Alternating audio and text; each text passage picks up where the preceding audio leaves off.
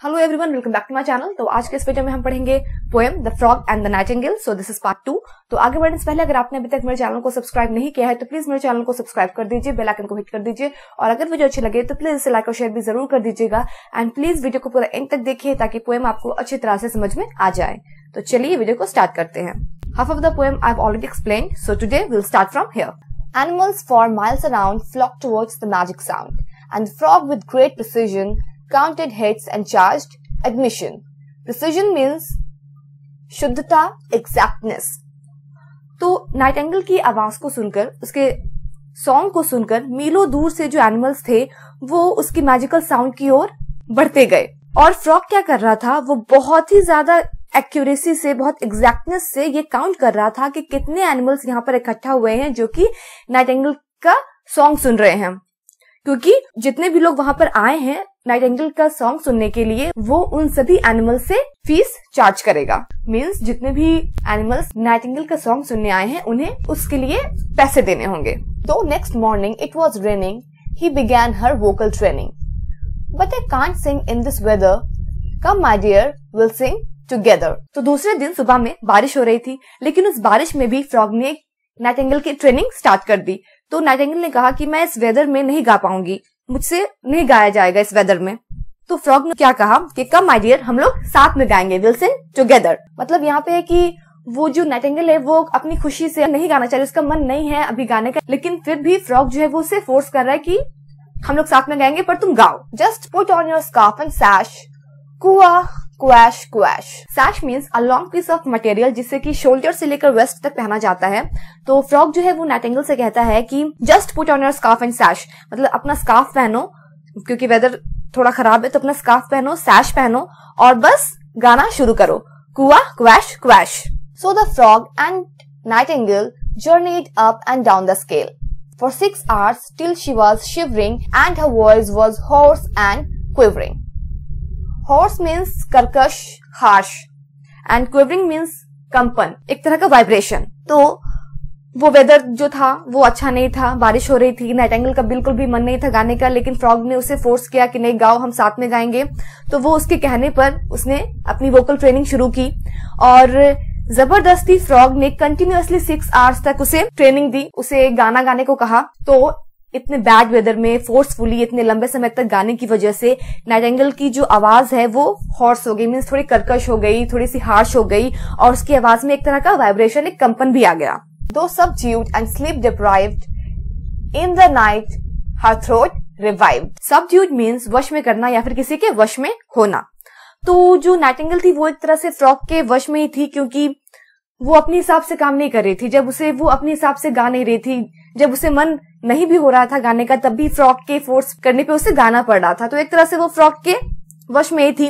तो फ्रॉक जो है वो ज़बरदस्ती उससे लॉन्ग लॉन्ग आवर्स तक ट्रेनिंग करवाता। तो इस वजह से उसकी जो नींद है वो भी पूरी नहीं हो पाती। तो इन सब चीज़ों के बावजूद रात में नाइटेंगल का जो थ्रोट है वो फिर से रिवाइव हुआ। मतलब उसकी जो लॉन्ग ट्रेनिंग की वजह से उसकी आवाज़ जो थोड़ी हॉर्स हो गई थी, थोड़ी हार्श हो गई थी, वो फिर से रिवाइव हुई, फिर से अच्छी हुई और उसने फिर से गाना शुरू किया। और उसकी आवाज़ को सुनकर एक ह्यूज क्राउड सिबक ट्री के पास आ गया। और उस क्राउड में कौन कौन थे जो कि नाइटिंगल का सॉन्ग सुनने आए थे? वो थे earl of Sandwich duke of Kent milord and milady Trent Martin cardinal Mephisto and the count of Monte Cristo तो ऑल ऑफ़ सैंडविच से पोइट ने रिलेट किया है। अर्ल ऑफ़ सैंडविच को डॉक ऑफ़ केंट से पोइट ने relate किया है। ड्यूक ऑफ़ केंट को and milord and milady Trent से पोइट ने रिलेट किया है मिलॉड एंड मलेजी ट्रेंट को। And the count of Monte Cristo से पोइट ने रिलेट किया है काउंट ऑफ़ मॉन्टे क्रिस्टो को।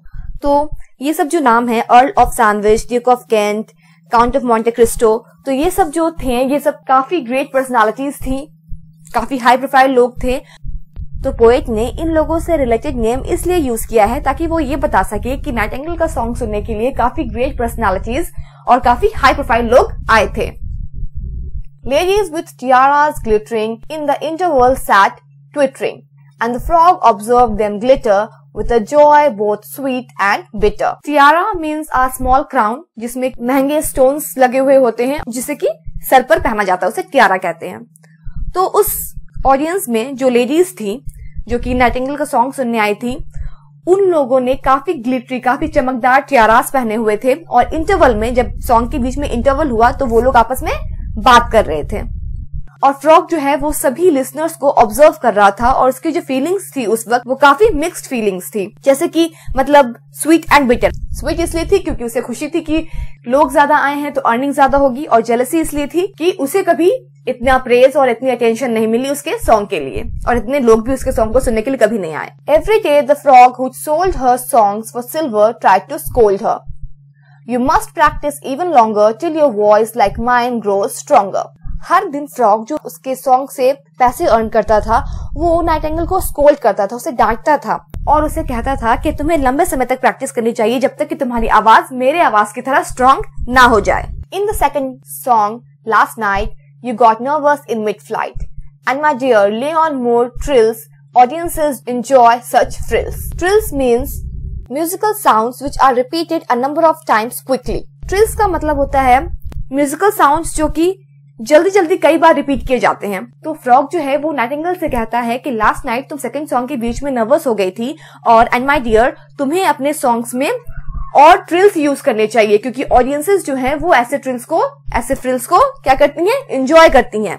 You must make your public happier give them something sharp snappier we must aim for better billings you still owe me sixty shillings shillings is a unit of money तो frog आगे कहता है Nightingale से कि तुम्हें अपनी public को, जो ऑडियंसेस है, जो लिसनर्स है, जो तुम्हारे सॉन्ग को सुनने के लिए आ रहे हैं, तुम्हें उन्हें हैप्पी रखना उन्हें खुश रखना है।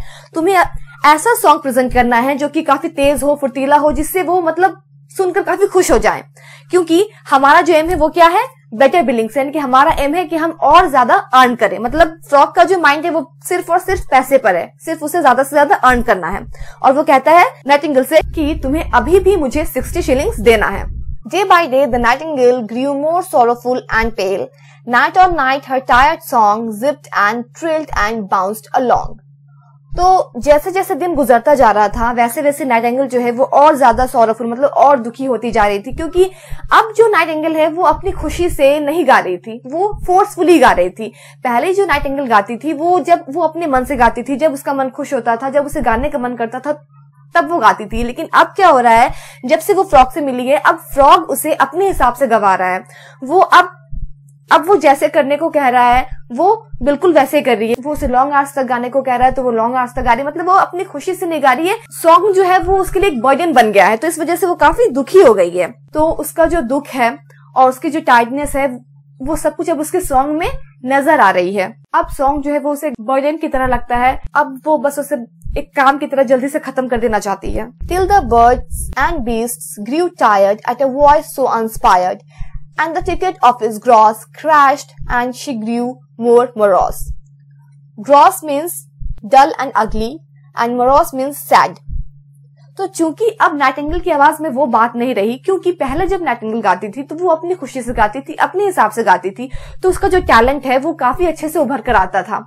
और लोगों को उसकी जो आवाज़ है, वो काफ़ी इंस्पायरिंग लगती थी। लेकिन अब जो है, अब क्या है, अब नाइटिंगल वैसा नहीं गाती है, क्योंकि वो अब अपने मन से गाती ही नहीं, अपनी मर्ज़ी से गाती ही नहीं है। अब वो दूसरे के फोर्स पे गाती है तो चूँकि नाइटिंगल जो है, वो अब अपनी मर्ज़ी से, अपनी खुशी से नहीं गाती है, वो फ्रॉक के प्रेशर और उसकी फोर्स करने पर गाती है तो उसका जो दुख है और उसकी जो टाइटनेस वो सब अब उसके सॉन्ग में एक्सप्रेस हो रही है, नज़र आ रही है। तो जो ऑडियंसेस हैं, जो लिसनर्स है, जो उसकी सॉन्ग को सुनने आ रहे हैं, अब उन्हें उसका सॉन्ग उतना इंस्पायरिंग नहीं लगता। और एनिमल्स जो उसके सॉन्ग को सुनने आते थे, वो अब उसे सुनना पसंद नहीं कर रहे मतलब वो अब उसके सॉन्ग को सुनने के लिए नहीं जाते थे। तो जिसकी वजह से जो अर्निंग होती थी, वो क्या हो गई? क्रैश कर गई मतलब खत्म हो गई। जिसकी वजह से जो नाइटेंगल है, वो और ज़्यादा सैड हो गई। For her ears were now addicted to applause quite unrestricted and to sing into the night all alone gave no delight तो अब क्या था कि इतने दिनों से जो नाइटिंगल सॉन्ग गा रहे थे और इतने लोग उसके सॉन्ग को सुनने आ रहे थे, उसकी तारीफ़ करते थे, उसे प्रेस करते थे तो अब नाइटिंगल को उन सब चीज़ों की आदत हो गई थी। और अब जब कोई उसके सॉन्ग को सुनने के लिए नहीं आ रहा था तो रात में अकेले गाने में उसे जरा भी खुशी नहीं मिल रही थी। Now the frog puffed up with rage brainless bird you are on the stage use your wits and follow fashion puff your lungs out with your passion तो फ्रॉक को तो बस पैसे चाहिए थे। वो बस चाहता था कि ज़्यादा से ज़्यादा एनिमल्स जो है वो नाइटेंगल के सॉन्ग को सुनने के लिए आए सो दैट वो ज़्यादा से ज़्यादा अर्न कर सके। लेकिन अब क्या था? अब कोई भी उसके सॉन्ग को सुनने के लिए नहीं आ रहा था। तो इस वजह से फ्रॉक जो है वो काफ़ी गुस्सा गया, काफ़ी एंगर मतलब काफ़ी एंग्री हो गया। और उसने कहा नाइटिंगल से ब्रेनलेस बर्ड तुम स्टेज पे हो। मतलब वो कह रहा था कि तुम बेवकूफ़ बर्ड तुम स्टेज पे हो। अपनी विट्स यानी कि अपनी अकल यूज़ करो और फ़ैशन को फॉलो करो। अपने लंग्स को परफॉर्ट करो मीन्स अपने पूरे पैशन के साथ अपने पूरे जुनून के साथ अपने लंग्स को परफॉर्ट करो मीन्स गहरी सांस लो trembling terrified to fail blind with tears the nightingale heard him out in silence tried puffed up, burst vain and died. तो फ्रॉक के उस एंगर की वजह से नाइटिंगल जो है वो काँप रही थी उसे डर लग रहा था कि कहीं वो फेल ना हो जाए वो चुपचाप फ्रॉक की बातों को सुन रही थी और उसकी आँखों से आँसू बह रहे थे और उसने गहरी सांस लेने की अपने लंग्स को पफ आउट करने की कोशिश की जिसकी वजह से उसका जो वेन है वो बस्ट आउट हो गया और वो बेचारी बर्ड मर गई said the frog I tried to teach her, but she was a stupid creature. Far too nervous, far too tense, far too prone to influence. तो अब जब वो बेचारी बर्ड मर गई तब ये फ्रॉग क्या कहता है कि मैं तो उसे सिखाने की कोशिश कर रहा था बट ये जो बर्ड थी वो काफ़ी स्टूपिड थी। वो बहुत ज़्यादा नर्वस हो जाती थी बहुत टेंस हो जाती थी और बहुत ही जल्दी इन्फ्लुएंस हो जाती थी मतलब किसी की भी बातों में आ जाती थी। Well poor bird she should have known that your song must be your own यहाँ पे फ्रॉक कह रहा है वेल well, उस बेचारी बर्ड को ये पता होना चाहिए था कि तुम्हारा जो सॉन्ग है वो तुम्हारा खुद का होना चाहिए। इस लाइन से हमें ये पता चल रहा है कि फ्रॉक जो है वो कितना खराब है क्योंकि जब वो बर्ड ज़िंदा थी और जब वो अच्छे से गाती थी, उसके सॉन्ग को पसंद किया जाता था और जब उस बर्ड ने कहा था कि भले ही मेरा सॉन्ग जैसा भी है बट वो मेरा खुद का है, तब उस फ्रॉक ने क्या कहा था कि इसमें इतना ज़्यादा खुश होने की ज़रूरत नहीं है, इतना ज़्यादा प्राउड फील करने की ज़रूरत नहीं है, तुम्हें ट्रेनिंग की ज़रूरत है, क्योंकि तुम्हारे सॉन्ग में अभी भी बहुत सारी कमियाँ हैं। और तुम अगर हमेशा ऐसे ही गाती रहोगी अपनी खुद की तरह तो तुम हमेशा एक बिगनर बन के ही रह जाओगी। और अभी जब वो बर्ड मर गई है तो वो क्या कह रहा है कि उसे ये पता होना चाहिए था कि उसका सॉन्ग जैसा भी है बट वो खुद का है उसका। That's why I sing with panache कुआ कुएश कुएश and the foghorn of the frog blared unrivalled through the bog panache means a stylish and graceful manner of doing something मतलब किसी भी चीज़ को काफ़ी ग्रेसफुली काफ़ी स्टाइलिश तरीके से करना। And foghorn means unpleasant and loud मतलब बहुत ही तेज और बिल्कुल ही पसंद ना आने वाला। इसलिए मैं ग्रेसफुली स्टाइल से गाता हूँ कुआ क्वैश quash and the foghorn of the frog blared unrivalled through the bog तो चूँकि अब जब वो बेचारी नाइटेंगल मर गई तो उस बॉग में फ्रॉग का कोई भी कॉम्पिटिटर नहीं रहा सिंगिंग में. और उस ब्लॉग में फ्रॉक की ही लाउड और अनप्लेजेंट आवाज़ हमेशा शोर मचाती रही. So the poet of this poem is Vikram Seth और इस पोएम का मोरल ये है कि किसी भी क्रिएचर को खुद पे कॉन्फिडेंस होना चाहिए और खुद के टैलेंट पे पूरा भरोसा होना चाहिए। क्योंकि वो जो नाइटेंगल थी, वो बहुत ही ज़्यादा टैलेंटेड थी, वो बहुत अच्छा गाती थी और उसके सॉन्ग को सभी लोग पसंद करते थे। दूर दूर से एनिमल्स जो है, वो उसके सॉन्ग को सुनने के लिए आते थे। बट उसे खुद पे कॉन्फिडेंस नहीं था, उसे खुद के टैलेंट पे भरोसा नहीं था, जिसकी वजह से वो बहुत ही आसानी से फ्रॉक की बातों में आ गई और एंड में वो बेचारी बर्ड मर गई। सो दैट्स ऑल होप आपको पोएम समझ में आगे होगी। अगर आपका भी, भी कुछ डाउट्स है then go through the video one more time और अगर वीडियो अच्छी लगी हो तो please like share comment subscribe and hit the bell icon will meet in next video very soon till then bye